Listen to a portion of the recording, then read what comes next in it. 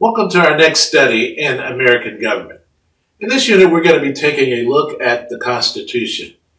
We know that there were three founding documents that are very essential to the current United States of America. These documents laid the groundwork for what we are today as a nation. Of course, there was the Declaration of Independence, which was penned by Thomas Jefferson. Uh, that was not a governing document, but it was a declaration of war against Great Britain laying out all the grievances that the young nation had toward uh, Great Britain.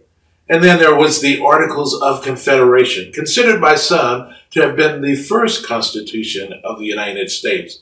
It was a rather weak document in that it did not provide for a national or executive uh, power, nor did it provide for a federal judiciary. So it was considered very weak, could not resolve a number of the issues that were confronting the uh, young nation at that time, and so it had to be resolved.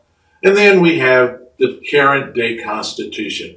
We're going to begin our study by looking at some of the obstacles that confronted this young nation and the framers as they were putting together the Constitution. Of course, there was the large state, small state argument over how they would be represented in Congress. And we know the resolution to that is what we call the Great Compromise. Then there was the North and South state uh, argument that uh, dealt with the whole issue of slavery and how that would be resolved. And that was resolved by what we call the Three Fifths Compromise. And of course, there was a lesser uh, debate that went on, and that was the debate over whether there would be national sovereignty or state sovereignty and the whole idea of federalism, which we'll talk about in the next unit, was the resolution to that particular issue. We're going to look at the founders and the framers' commitment to limited government and representative government.